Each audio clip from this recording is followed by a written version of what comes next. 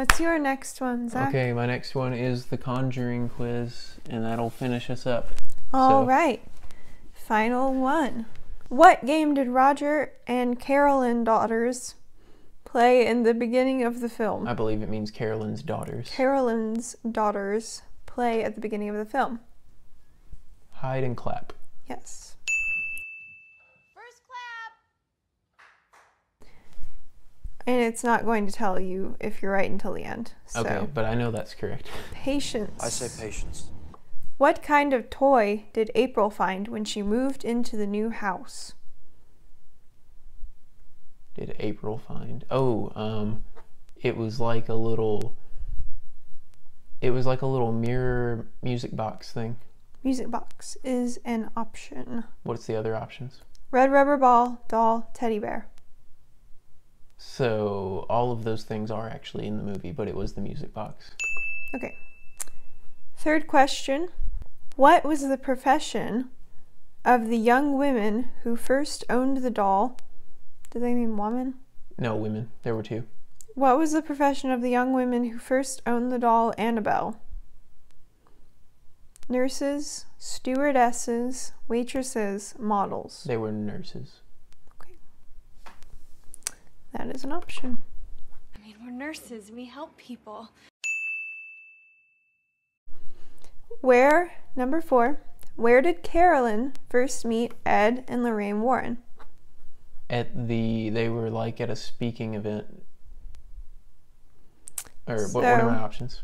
Carolyn met Ed and Lorraine at a local college, at a church in her new town, at a local coffee house, or when they came to her house. It was the, the college. Okay. That is an option. Number five, what did Roger Perron do for a living? What are my options? Plumber, carpenter, electrician, or truck driver? Oh gosh. Um, Name a blue collar job. so say him again. Plumber, carpenter, electrician, or truck driver?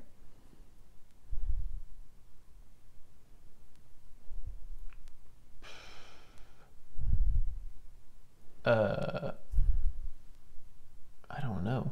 Um, hang on. I'm gonna say a an electrician. Okay. I feel like carpenter would add some Judeo Christian elements, but okay. More so than there already are. Yes. Sprinkle that in. Which one of the Perron daughters was a sleepwalker? I think it was I think I know what it was. Yeah, but say their names. Andrea, Cindy, Nancy, or Christine? I have no idea. Um, I don't. I think I remember. I, remember the sleepwalking one.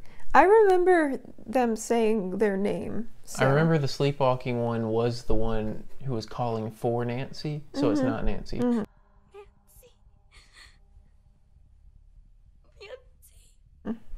What are their names? Andrea, Cindy, Nancy, or Christine? Uh, I'm gonna say Cindy. That's I think. What happened to Nancy while she was in the living room with her family and the Warrens? What happened to Nancy while she was in the living room? Yes. She was thrown out of the room feet first, dragged around the room by her hair, picked up by her ears. She was dragged out of the. Wait, wait. Picked up by her ears or what? Sorry, I didn't even know. Picked up by her ears and thrown out a window, Oh wow. or pulled out of the room by her legs into the basement. She was dragged by her hair. Okay. How did Bathsheba die? Well, I don't think the Bible actually goes into that. In this movie. Oh, so how did she die? She hung herself. Who played the role of Lorraine Warren? Uh oh, I know. It's Vera something. Vera Farmiga, Yep. if I'm saying that right. Who directed this 2013 film? James Wan. John Carpenter, Kevin Williamson, Wes Craven, or James Wan? James Wan. James Wan was correct. And then they offer some really biased opinions in the little in the little spot down there instead of just more info. About James Wan. Yeah, it says James did an exceptional job with this film. It reminded me a great deal of his film Insidious. Both of these films absolutely scared me in a way that I have not experienced in a long time. Agreed. James does not use blood and gore to scare you. He uses more of a psychological aspect to scare you. The scene in the basement where the ball was thrown absolutely terrified me.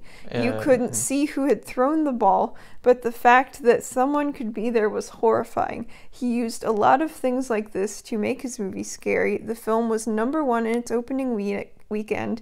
It beat out several higher budget films to take number one spot. You got 9 out of 10.